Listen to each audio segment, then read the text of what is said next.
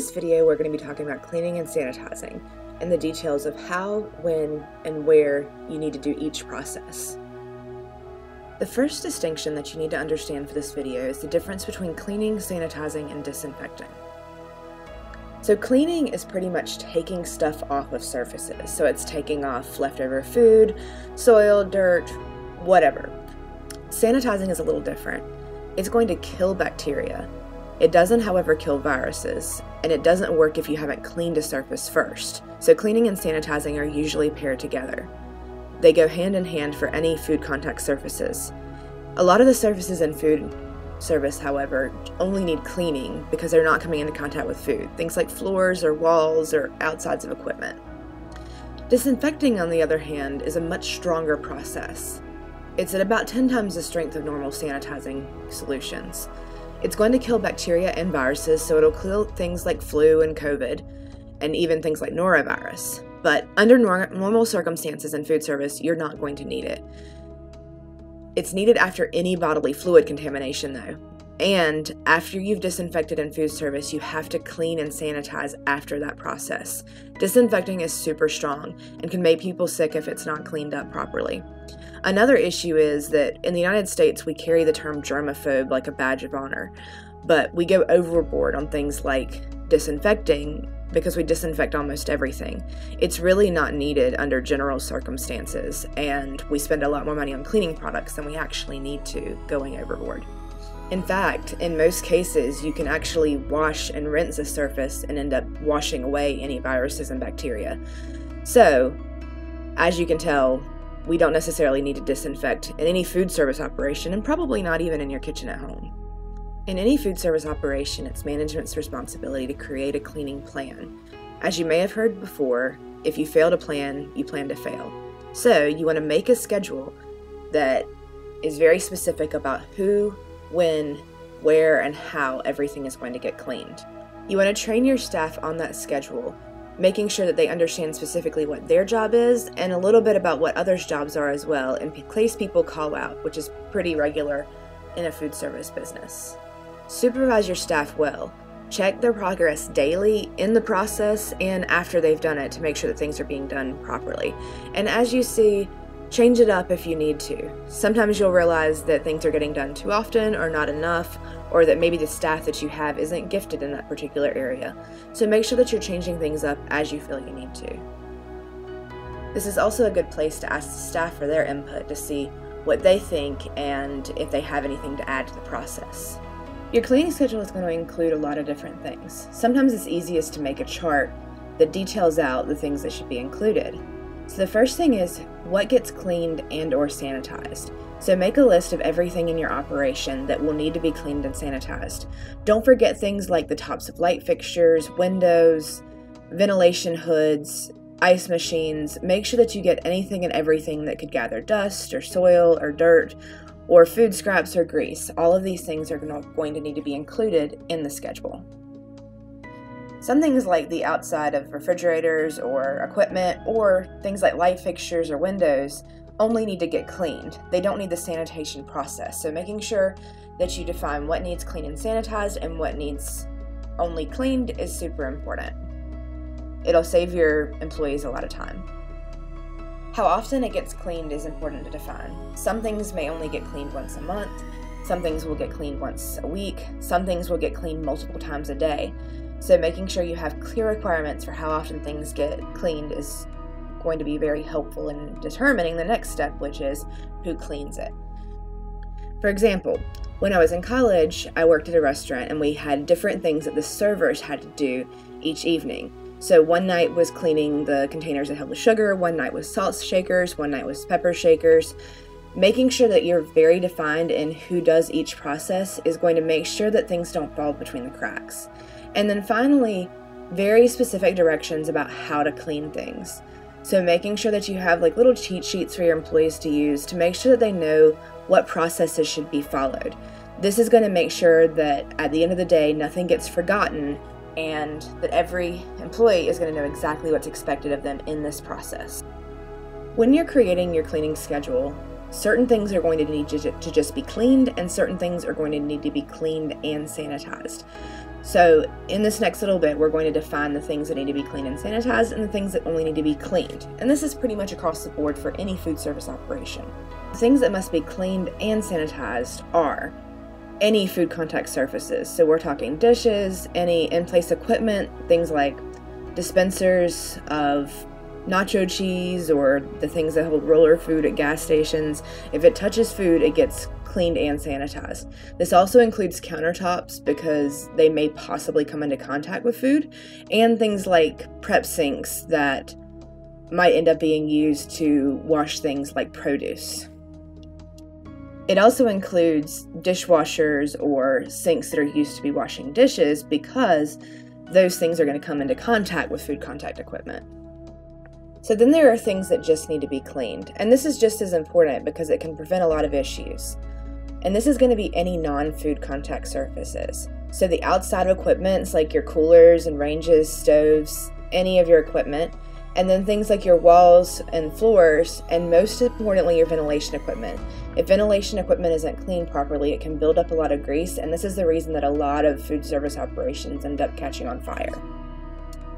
So, as I mentioned earlier, for the most part, disinfecting isn't used unless you're coming into contact with bodily fluids in the food service industry. But it's not a bad idea to disinfect restrooms because what ends up happening with these is that they have a lot of contamination of fecal matter because that spreads whenever you flush the toilet.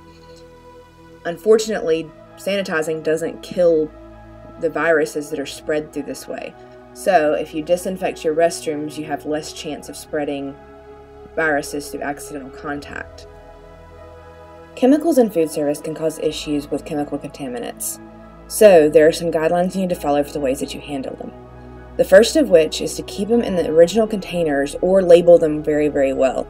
Sometimes you have to move them into refill containers or things like that, but just make sure that all of them are labeled with exactly what they are. Chemicals, if they're mixed, can cause issues that are pretty severe in terms of creating gases or reactions that can be extremely dangerous. So, making sure that you have them in the original containers is going to prevent a lot of problems. Keep them completely separate from food. Sometimes this means keeping them in a completely separate area, which is the ideal. And if you can't keep them in a completely separate area, you need to have some sort of partition that keeps things from dripping or going on to food or food contact surfaces such as single use items like paper plates or cups or things like that. So, making sure that it's completely apart from food is vitally important. And then finally, you want to follow any instructions on how to discard them. So, some things you can't just throw in the trash can. A lot of them you can, but make sure you're consulting the directions to know exactly how to handle them so that you're not causing any issues with waste collection. For every chemical you have in your location, you're required to have safety data sheets. These are formerly known as MSDS, but now they're SDS. They're typically sent with the chemicals when they come from the company, but even if they're not, you're responsible for having them on hand.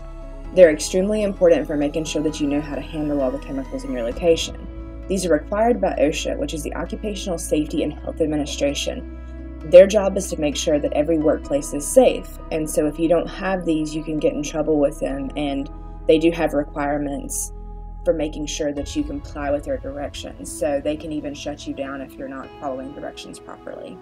Safety data sheets are going to include a lot of information about how to safely use a product, including how specifically to use it, what applications are appropriate, what to do if you swallow it, if it gets in your eyes or on your skin, and that can be different based on whatever chemical that you're encountering the safety data sheets are also going to contain what it reacts to, so any chemical reactions that can happen, any fire risks, so what, to happen, what would happen if it's exposed to fire, manufacturer info for the particular product, the date the SDS was created, so you know if you have the most recent version, and then any hazardous ingredients that might cause issues.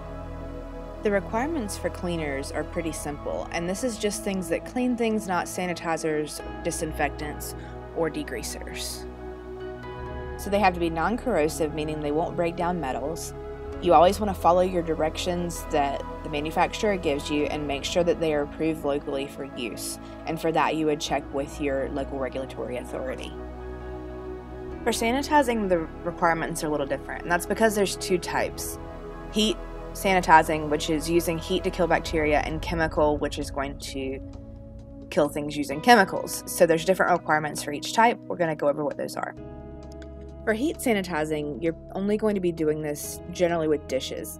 You're not going to be heat sanitizing things like countertops or surfaces because it's not really possible. The reason for this is that for washing dishes by hand or manual washing, you have to have that surface at 171 degrees for 30 seconds. So in a sink, you're just dropping the item in there and leaving it in the sink for that length of time. It's not like chemical sanitizing where you can just dip it and the sanitizer stays on it so you don't have to leave it in there. So it's impossible pretty much to keep a surface at 171 degrees for 30 seconds by just pouring water on it. For machine washing, your sanitizing temperature is 180, and it's a little bit higher because you're not going to have as much contact with it as you would have in soaking the dishes for that length of time.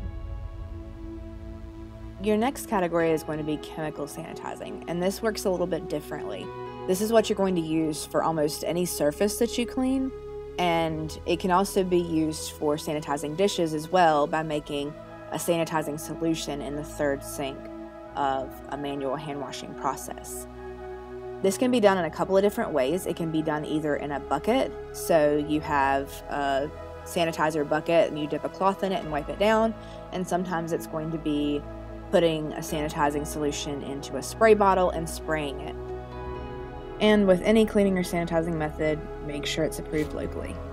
There are certain things that are going to affect the effectiveness of chemical sanitizer. So this means that it makes it work worse or better. So the first thing that affects it is concentration, and this one is probably the most important.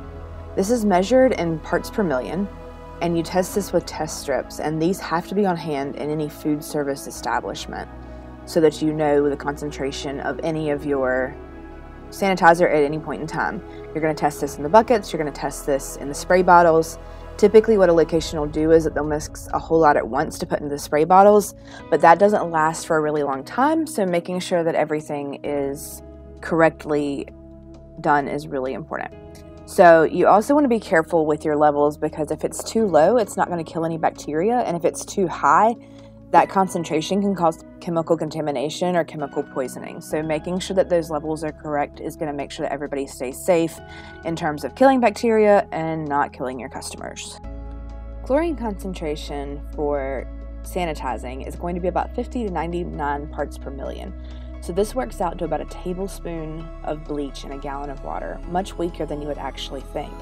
Most of the cleaners that we buy are disinfectant strength, which is a 1,000 parts per million and this is going to be just under a third of a cup per gallon of bleach.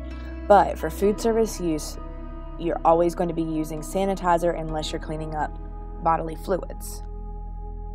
You can't count on volume measurements for this though. You do need to be checking your solution with the test strips as often as possible, especially until you get used to the amounts. Most locations now have a sanitizer dispenser that attaches to a water faucet in the location. So you're going to run water and the sanitizer automatically dispenses at the correct concentration. This machinery can malfunction, however, so it's your responsibility to check the concentration each time you use it. Your next type of sanitizer you can use is iodine, and that's in an amount of 12.5 to 25 parts per million. So the concentration is lower, but a lot of places don't use this due to the fact that it can stain things. And your final approved part is quaternary ammonia, or quats. This is used a lot in bars or in places that like their glasses to be very shiny because it doesn't leave spots, but you just follow the manufacturer's directions for this one. This can vary based on the manufacturer. The temperature of the water affects chemical sanitizer effectiveness as well, but for the most part, they're most effective at 70 degrees, which is right around room temperature. So that means for the most part, you don't really have to worry about that too much when you're calculating your amounts. Contact time is a big issue with chemical sanitizers. If it's not in contact with the item for that length of time, then it's not going to work. This is why it's really important that after you apply sanitizer, you don't wipe it off. So, chlorine, it takes 7 seconds. Iodine and quats take 30 seconds. So, making sure that that length of time is observed is going to make sure that you kill all the bacteria possible. Water hardness and pH have an impact as well, but this varies so much based on individual manufacturers' guidelines that you just need to check your manufacturer's guidelines for the ideal levels for each of these things. So, like I mentioned earlier, any of your food contact surfaces have to be cleaned and sanitized. and there's a few guidelines that will help you out across the board for any of these items.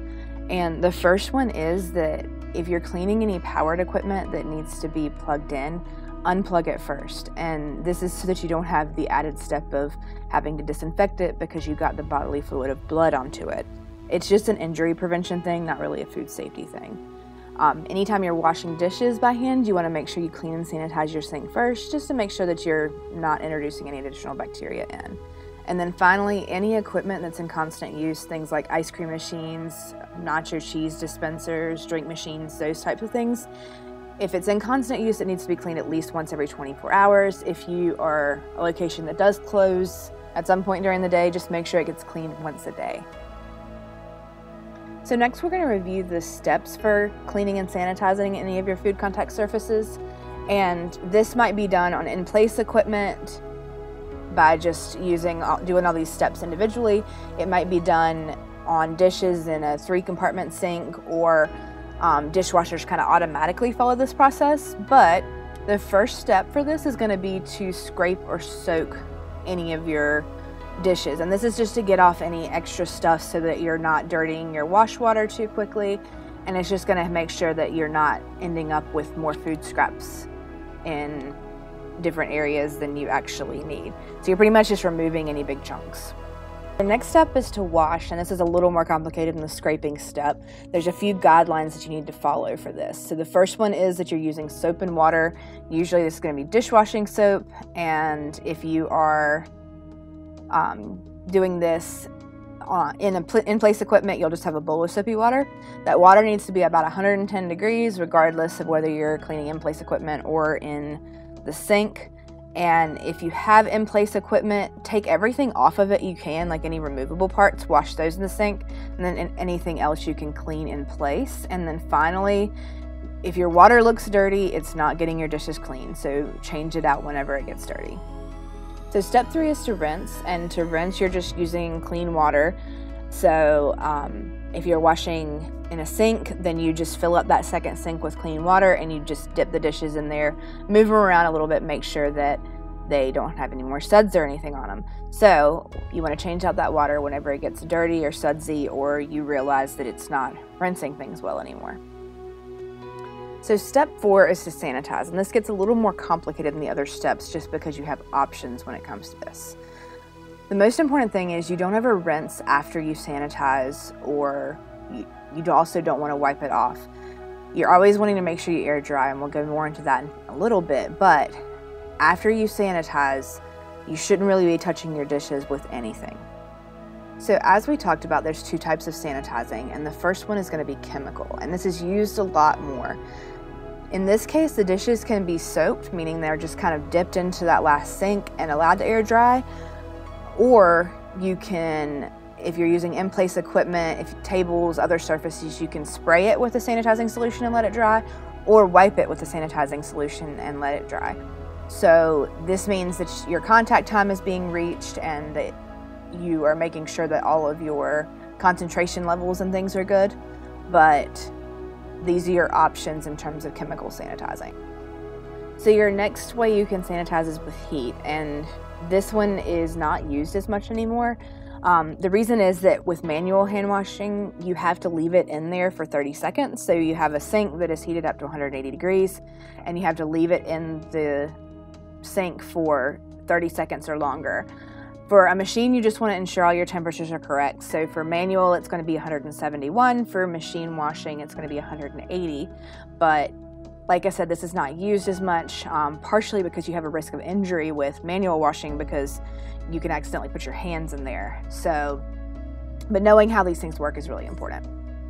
The contact time requirement of seven seconds for chlorine sanitation or 30 seconds for the heat sanitation is the reason why you have to have a second hand on the clock that is over your dishwashing station. So your final step is going to be to air dry and it's important to remember that by drying with a towel you can contaminate it with things from other dishes or bacteria that have grown on the towel. So you should never air, towel dry anything in food service. All of your dishes need to be placed upside down so that they are in a self-draining position and you leave them there until they are completely dry. It's also important that you have enough space to dry in for any manual washing that you're doing so that things don't have to be put away wet because that can grow bacteria, especially if things are stacked. So for a three compartment sink, you have an area that represents each of the steps. So to scrape and soak, you can have a tub that you're soaking things in, you can soak things in a separate sink, but you're scraping and soaking in that first little table section. Then you're going to wash in this first compartment. So that's going to include soap and water, and the water needs to be 110 degrees or higher. You rinse in the second one, and this is going to be filled with clean water, and you're dipping your dishes in there until all the suds are off of it, and you change that out when it becomes dirty. The third sink is going to be to sanitize, and that's going to be either heat or chemical sanitizing. And typically, you have a little um, a little hose that goes from sanitizer into the water as it's filling. So it's important when you're filling that third sink that you're not using that faucet with the sanitizer on for the rinse water. And then for air drying, you can air dry in that little table area on the right of the sink, but a lot of people use baking racks as air drying areas just because they're larger and give you more options. It's also important to have your clock with your second hand, and that's what's up top, and that just helps you san- time out your, your contact time for any of your sanitizing methods. So it's important to know when the appropriate times to wash any of your food contact surfaces are. And the most obvious one is after it's been used. So if you are finished using it, you just wash it after it's been used. Your next thing is if you change your task or change your foods, and that's just to make sure you don't have any cross contamination happening. If you're interrupted, so if you have to leave the prep area for any reason, going to the restroom, dealing with customers, those types of things. And then every four hours, if you're doing a task continuously, so if you are chopping onions for four hours, which I hope you wouldn't be, but if you are, you would completely wash, rinse, and sanitize everything that you've used and then start with new stuff. Dishwashers have slightly different guidelines, and as a reminder, these are different than the dishwashers you use at home in that they take a lot less time to operate. So, the first thing is you want to clean those regularly, making sure that you're taking out any food scraps in the bottoms. There's little trays that catch those, but as a prevention method, you want to scrape any dishes before you put them in just so that it has more opportunity to clean those items off and so that you don't have a buildup of a ton of food scraps in the bottom. You also want to load it so that the water can reach all the surfaces. So things like glasses need to be upside down, plates don't need to be stacked too closely together. Just make sure that water can reach everything. You also want to make sure you air dry everything completely before you stack it up. So sometimes you need to leave it in the trays to dry for a while before you put those items away. And then finally, you want to make sure you're checking all of your temperatures for your water and then your concentrations for any of your cleaning and sanitizing chemicals on a regular basis, not just with the gauges, but also with thermometers and test strips. When it comes to chemical sanitizing in dishwashers, there's a couple of requirements as well. You don't have a specific temperature requirement for chemical sanitizing, however. Sometimes, if the water's too hot, it can bake on food, and so you want to make sure that you're using the correct temperature to make sure it gets clean before it gets sanitized. Follow any instructions that are with your machine or on your chemicals to make sure that everything is working properly, and then check regularly with your strips and on the machine and making sure that your machine settings are accurate for what the strips are indicating. Heat sanitizing has a few guidelines as well. The first one is that your water for heat sanitizing in a dishwasher needs to be 180 degrees Fahrenheit, and this is going to make sure that it kills any bacteria. It's a little higher than manual washing just because it's going to have a little less contact time. If you have a stationary rack, which is the type that you slide the dishes in and then pull the cover down and let it run, that the temperature requirement is 165 degrees. You want to check with maximum registering tape, which you stick onto a dish and it turns a certain color when it gets the correct temperature, or with a maximum registering thermometer. The thermometers and strips are going to indicate the highest temperature that the water reaches, so it makes sure that things are accurate. So once your dishes are clean, you have a few guidelines you need to follow to store them. Any shelving that you're storing dishes on has to be six inches off the ground to prevent pest contamination. All of your glasses have to be upside down, and your flatware needs to be handle up so that you're not handling what the customers are going to be eating off of. Everywhere that you're storing your dishes and any carts that you use for dishes need to be cleaned regularly so that you're not contaminating clean items. And then all of your equipment needs to be covered until it's being used. This way, you're not going to have things like dust building up on them that you have to clean off later. So, the next thing we're going to talk about is to have a plan for cleaning up any bodily fluids. And this happens if someone gets sick, has an accident, or gets cut. The most important part about this is to have a plan, to make sure that you have a procedure in place that your employees can access easily that tells you exactly how to clean up after any of these items. So, first of all, you need to have a plan to contain any fluids and particles.